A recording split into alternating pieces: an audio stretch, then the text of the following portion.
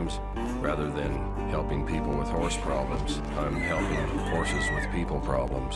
This horse tells me quite a bit about you. Hej Mads, velkommen Hej til. Tak. Hvad er egentlig status på hele den der øh, misære med, at du skulle udleveres til Liberia på grund af ambassadørens premiere dernede? Min fornemmelse er, at det er gået lidt i sig selv. Altså, de har bedt om at få mig arresteret og udleveret. Men, altså, medmindre Danmark vælger at gøre det, hvilket jeg ikke tror vil ske, så, øh, så forbliver det... Okay, så du, du kigger dig ikke over skulderen hele tiden? Ikke i Danmark. Og, altså, med- medmindre jeg vil, vil holde ferie i Liberia, så, så føler jeg mig på den øh, sikre side. Nå, men altså, vi har jo været inde og se en knap så kontroversiel dokumentar, må man sige, mm. om en hestevisker, der hedder Bok. Og vi skal blandt andet snakke om øh, de her dramaturgiske valg, man træffer, når man er dokumentarist. Ja. Mange husker nok Robert Redford-filmen Hesteviskeren. Dokumentarfilmen Bok handler om manden bag, den ægte hestevisker Bok Brannaman. Gennem gamle billeder, optagelser og interviews portrætteres denne specielle dyreven og hans virke som heste- og nogle gange menneskepsykolog.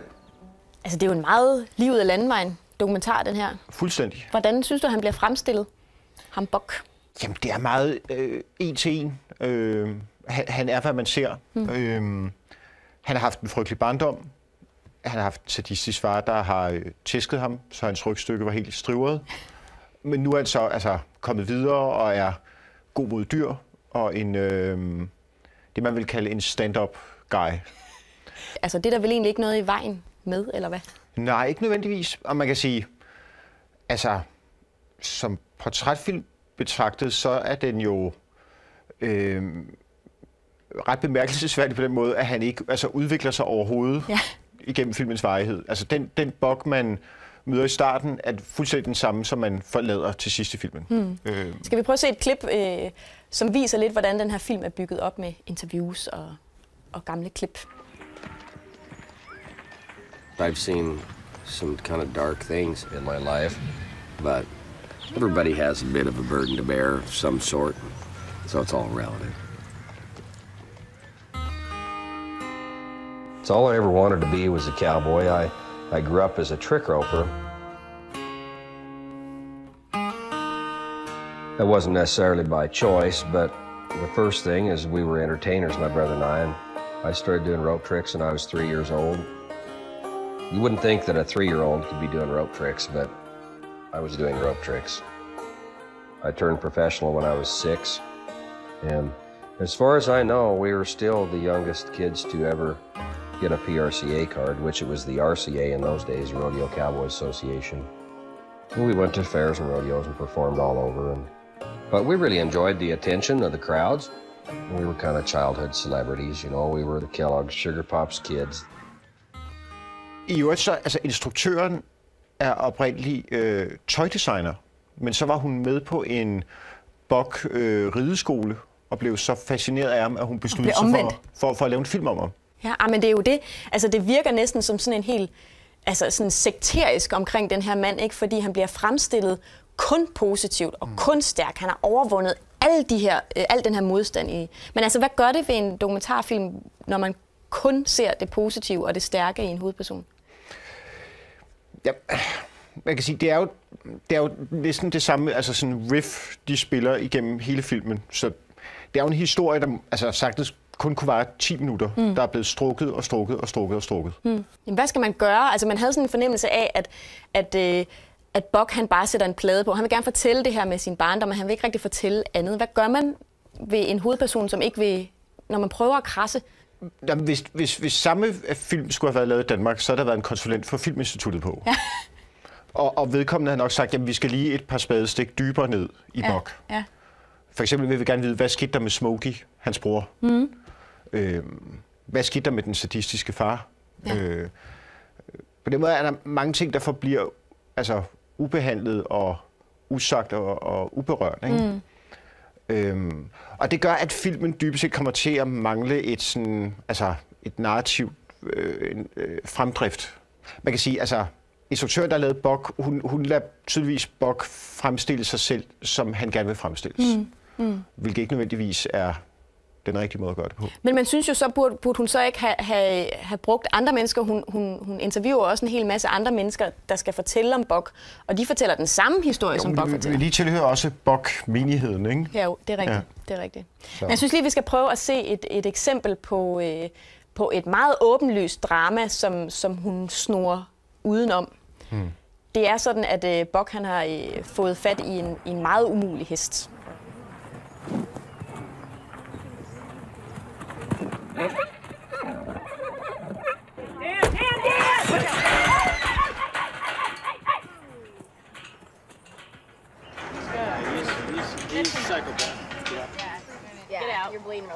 In the head. Get out. That's it. You're done. You got it. Here, Dan, hop down. Just hop down. Well, I need to stay. I know, I know, I know. I'm sorry. I'm sorry. Yeah, That's right. huge hole. You need sutures. Here. It's a huge hole. Here. That's pretty bad. You always carry something with you just in case. I'm gonna have to put him down. Det er det, man kalder en udadreagerende hest. Ja, det må man sige. Adfærdsvanskelig. Ja. Ja, og det skal så lige nævnes, at det, det er ikke engang Bok, der er på det her, fordi at, at øh, det højeste dramatiske punkt, der er i hele den her film, der glimrer Bok ved sit fravær. ja. Han, han kommer så til senere hen, men der er hesten så vist blevet aflivet og sådan noget. Han dukker op og siger, at den skal laves til håndsæbe, Ja. dybest set. øhm, hans hvad skal man sige, tese er, at, at øh, hesten er et spejl af dets ejer. Mm. Og ejeren af denne hest øh, er en kvinde, som altså virkelig har problemer, for at sige det mildt.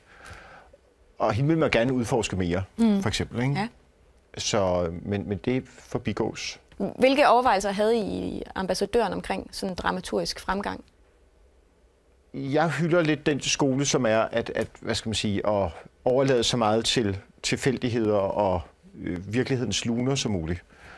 Mens jeg så altså, til gengæld forbereder øh, situationer, som vil generere plot. For eksempel, at jeg vil lave en tændstikkefabrik, mm. eller at jeg vil investere i en diamantmine. Mm. Fordi det ved jeg vil skabe handling. Ja. Det, det vigtige er jo at sikre, at ens, hvad skal man sige, øh, hovedpersoner har en, altså, står over for en modstand. Mm. Fordi hvis det hele øh, kører som hånd i handske, eller som, øh, som øh, bok på en sadel, så, så, så bliver det i det lange løb øh, kedeligt simpelthen. Ja. Bok vandt jo øh, publikumsprisen på Sundance Festivalen i 2011. Og jeg spekulerer sådan lidt på, hvad siger det egentlig om det amerikanske folk? Det, det er jo en meget terapeutisk film at se midt mm. i en finanskrise, hvor Ja. det hele er ved at styrte sammen om ørerne på os. Altså, det er jo en meget opbyggelig historie om en mand, der er god mod dyr. Øh, publikum kan til synligheden godt lide relativt uproblematiske, ja. øh, positive, øh, hvad skal man sige, øh, let tilgængelige film. Mm. Altså om nogen, der er gode til at danse, for eksempel. Ja. Øhm, og som sådan synes jeg, er, er, Bok et eksempel på altså en, en, en, en publikumspleaser, ikke? Man finder jo dybest set også de samme historier i øh, altså ude og hjemme og søndags BT. Øh, hans barndom var et helvede, mm. men nu er han glad. Ja, Øh, og på den måde så er det jo en, en universel historie, ikke? det kan du have ret i. Hesteviskeren Bok er en meget klassisk fortalt portrætfilm, der ikke træder nogen over tæerne, men samtidig heller ikke risikerer noget.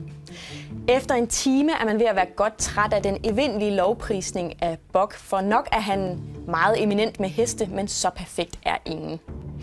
De revner, han helt sikkert har i sin personlighed, får vi aldrig noget at vide om, og det gør filmen uinteressant. Bok får tre stjerner.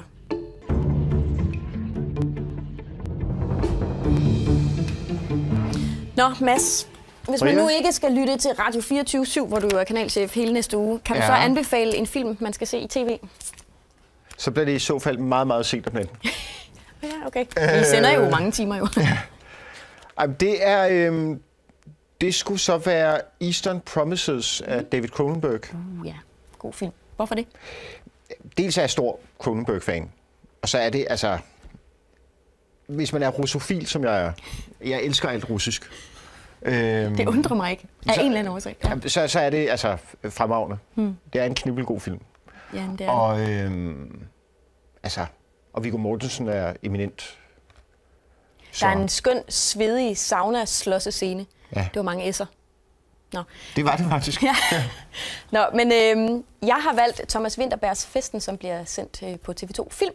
Og øh, jeg har ikke kun valgt den, fordi at hele Dogme 95-bølgen øh, jo var med til at sætte Film Danmark på, på verdenskortet. Øh, ikke både sådan fortællemæssigt, men også øh, teknisk. Og det, jeg synes nemlig, det er en lille sjov detalje, at det ham, der har fotograferet festen, det er Anthony Dodd Mantle, som faktisk også øh, har filmet Dread, som vi jo har anmeldt i dag. Mm. Ja, det er jo lidt sket.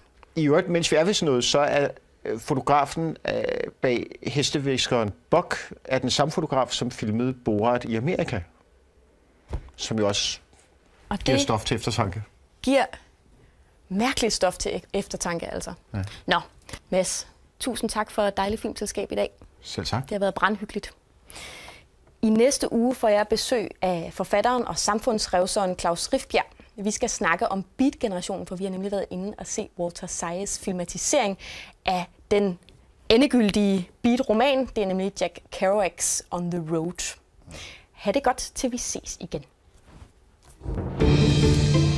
Når nu øh, Michael Bertelsen ikke er her, ikke? Mm. Øh, så kan man jo godt spørge, hvis det nu var, at en af jer var bok, og en af jer var hesten.